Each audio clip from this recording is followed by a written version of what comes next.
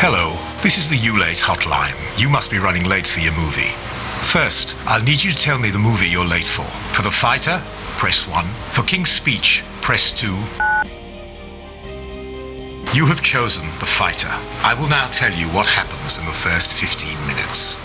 The movie starts in Lowell, Massachusetts, 1993. A crew from HBO is interviewing a thin, retired boxer in his late 30s called Dickie, played by Christian Bale. Dickie is quite a jittery man. He can't seem to keep any of his body parts still for more than a few seconds. We learn from the interview that Dickie has been boxing since he was 12. Dickie's younger brother Mickey, played by Mark Wahlberg, also joins the interview. Mickey, in contrast to Dickie, is very fit and muscular.